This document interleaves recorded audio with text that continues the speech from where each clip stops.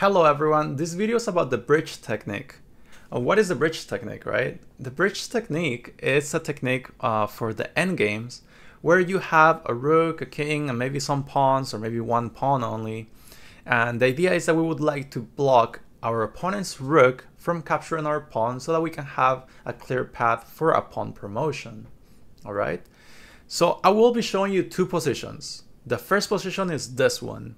This one I was um, coaching my friend, we were going over some exercises, and this is the position that we came across, where it's a winning position, a puzzle on chess.com, and this one is a little uh, more simple than the other one. The second position is the Lucena position. It's a position, an endgame that everybody has to study. Everybody has to know that endgame because it's a position, and I'll, let me let me show it to you real quick here. It's this position where you may be thinking that you are drawing the game because you don't see any escape for your king, but this is totally winning. And let me show you the evaluation bar here.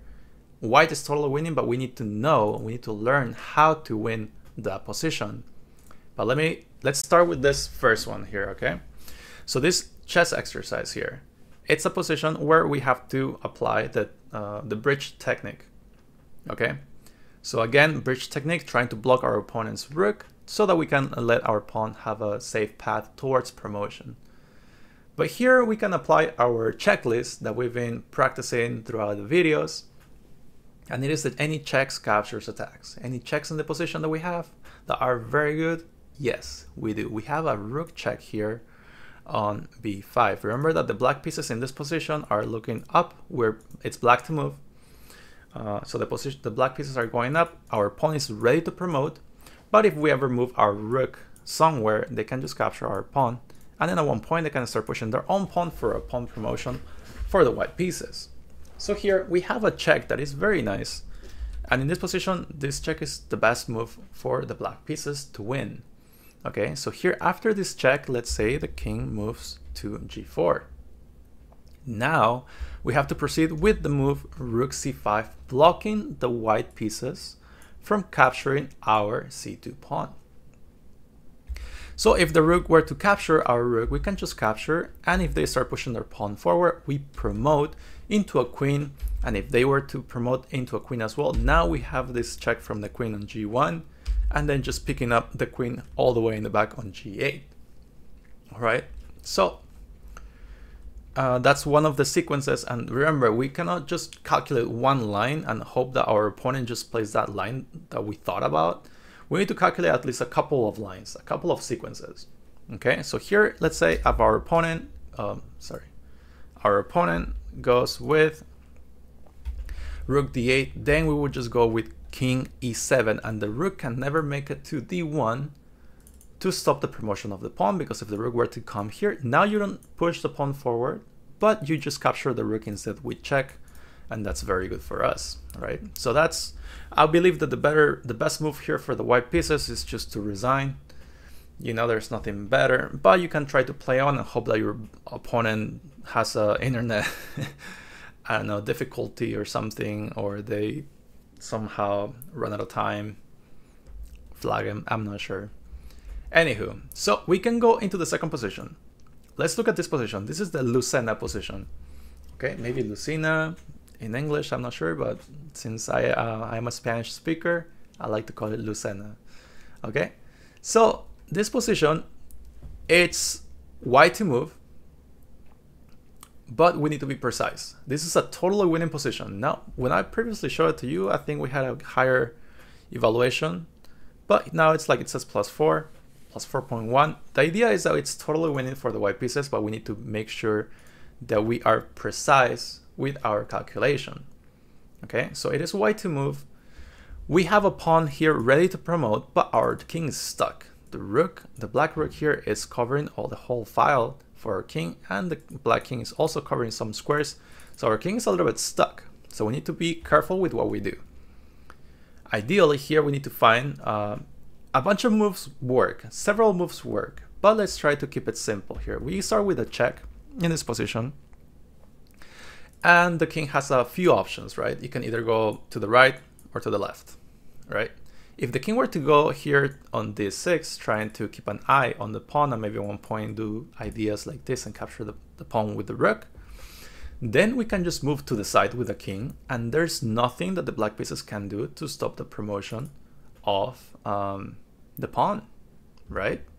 So if rook e1, for example, let's say, now we just promote the capture our queen and we should be able to win our king and rook endgame here, right? So king and rook versus king, that is totally winning. And if you're not sure how to give a checkmate with a king and rook versus a king, there's a video that will be, I will be putting in the recommended videos at the end of this video. I will try to put it in the link uh, on the description below as well, okay? So that you can practice your king and rook versus king uh, checkmate, okay?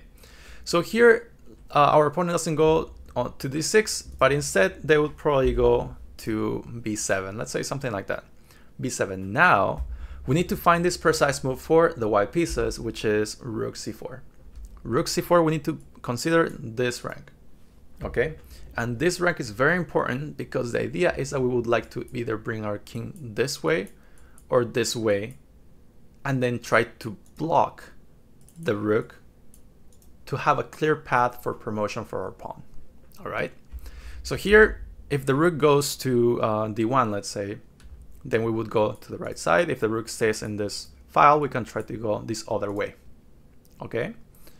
So here we go to f7 and then they're going to start giving us checks. And don't panic, don't try to go back, but instead the idea of bringing the rook to c4 is that we want to bring our king forward to then have a shield with the rook.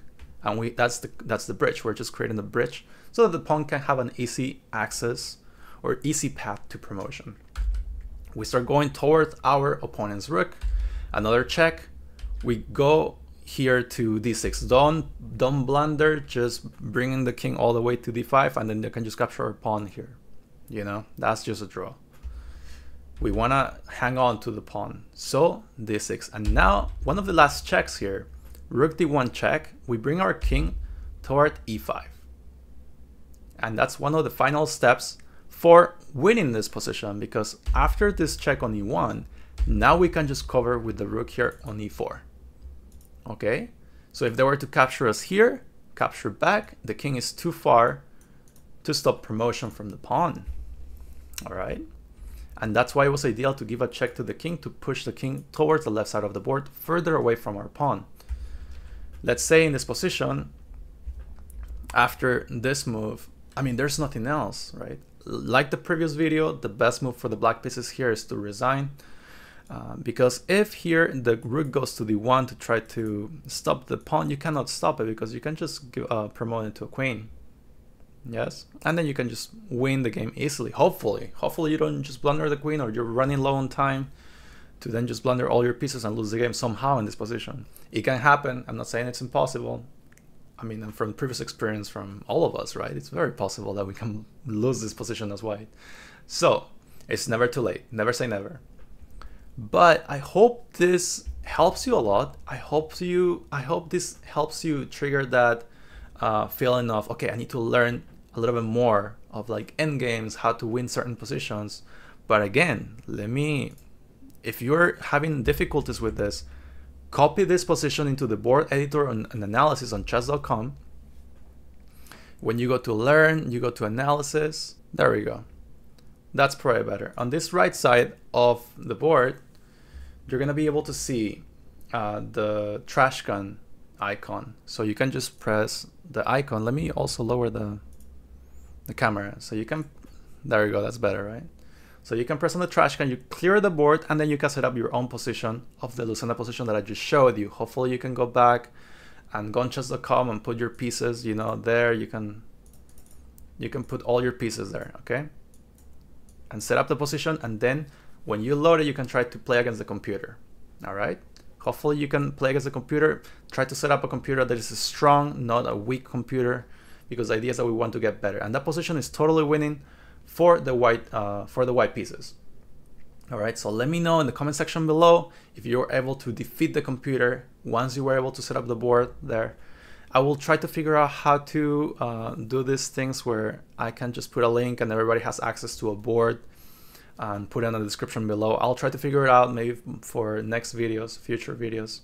But I hope you're able to learn some things, not just from today's video or from this video, but from previous videos as well, right? We have different videos that, uh, for chess concepts, experiences at tournaments, things like that. But the chess concepts area, so far, it's a very nice uh, playlist or series where you are learning things like this, you know, how to checkmate with the queen the easiest way we can, like the square rule. All these videos are very helpful, and I hope you're you're finding this channel uh, very fruitful to you. You know, it's I hope it's helping you because it's been I've been having a lot of a lot of fun creating all this content for you guys to access it for free and it's just taking you know up it's taking my time to like set up all these things and record and create these videos but i'm doing it for you guys to have a resource that you can access for free where you can learn chess and we can all learn together okay i hope you enjoyed the video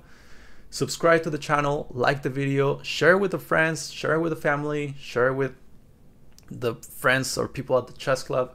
Also, um, something that I would recommend for you to do, maybe look into any chess clubs or chess gatherings around your area. Sometimes people meet at the public library, maybe like some areas or some states or cities, they have chess clubs.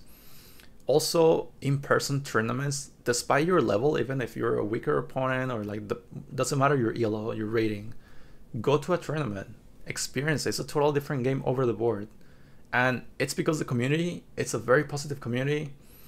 It's a very supportive community, and people help each other out because we all have this passion for chess. And I hope you're able to find friends, find people, and create a nice supportive, uh, a nice support group and a group that you can have fun with. Okay, I'll see you guys on the next video. Have a good night. Bye bye.